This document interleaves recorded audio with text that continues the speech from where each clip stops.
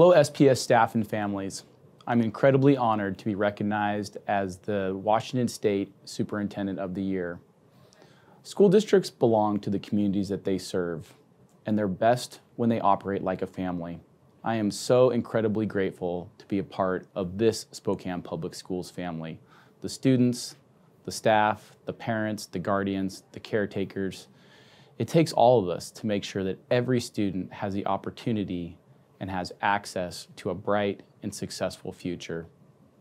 We do it together, we're better together, and any award that any of us get is a reflection of what we mean to each other and what we do with each other each and every day. Thank you, and again, awards are about all of us, and I'm so grateful that Spokane Public Schools can be recognized across our state.